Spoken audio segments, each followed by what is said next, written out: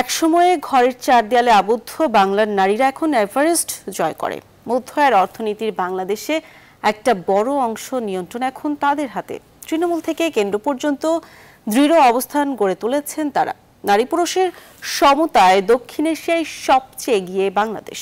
World economic ফোরামের সূচক অনুযায়ী সারা বিশ্বে বাংলাদেশের অবস্থান আটচল্লিশতম। বিশ্লেষকরা বলছেন, নারী ক্ষমতায়নে সরকার প্রধানের দৃঢ় চেতা মনোভাবের কারণেই এসব অর্জন সম্ভব হয়েছে। শাহ আলী জয়ের রিপোর্ট। সম্ভাবনাময় খাতগুলোর মধ্যে বাংলাদেশের সবচেয়ে এগিয়ে তথ্য প্রযুক্তি।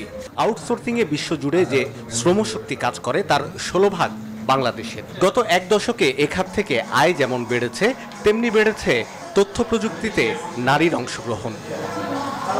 শুধু তথ্য প্রযুক্তি নয়, বাংলাদেশের নারীরা এখন যুদ্ধ বিমান চালায়।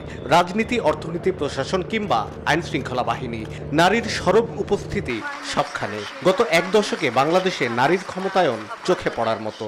আর যার কারণে তা সম্ভব হয়েছে তিনি প্রধানমন্ত্রী শেখ হাসিনা।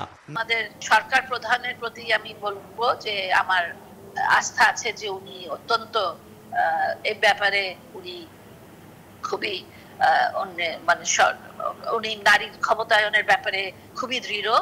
প্রধানমন্ত্রী ছাড়াও সংসদের বিরোধী দলীয় নেতা এবং স্পিকার নারী। আওয়ামী লীগ সরকারের তিন মেয়াদেই গুরুত্বপূর্ণ বিভিন্ন মন্ত্রণালয় সফলতার সঙ্গে চালিয়েছেন নারীরা। বাংলাদেশের সংসদে নারীর অংশগ্রহণ এশিয়ার যে কোনো দেশের চেয়ে বেশি। রাজনৈতিকভাবে আমরা ক্ষমতায়িত করতে চাই। হঠাৎ করে কাউকে রাজনীতিতে এনে বসিয়ে দেওয়া খুব কঠিন ব্যাপার। তাকে তৃণমূল থেকে তৈরি হতে হয়।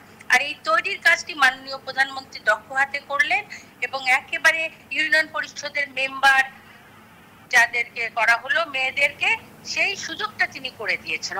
অর্থনৈতিকভাবে স্বাবলম্বী করতে অগ্রাধিকার পাচ্ছেন নারীরা। জামানত ছাড়া সর্বোচ্চ পঁচিশ লাখ টাকা এসএমই লোন পান তারা। শিক্ষার পাশাপাশি কিছু আর্ন না করতে পারলে মেয়েরা সেই গুরুত্বটা পরিবারে থাকে না। আর সেই কারণে মাননীয় প্রধানমন্ত্রী সারা বাংলাদেশে বিনা খরচে মেয়েদেরকে বিভিন্ন ধরনের প্রশিক্ষণ দিলেন। এবং সেই প্রশিক্ষণ মহিলা ও শিশু বিষয়ক মন্ত্রণালয়ের মাধ্যমে হয়েছে। বিশ্লেষকদের মতে, নারী ক্ষমতায়নের জন্য সরকার প্রধানের যে প্রচেষ্টা, তার সঙ্গে তাল মেলাতে হবে প্রশাসনের কর্মচারী আর সমাজের পুরুষদের। তাহলে আরও দৃঢ় হবে নারীর অবস্থান। Shah Ali Joy, news twenty Dhaka.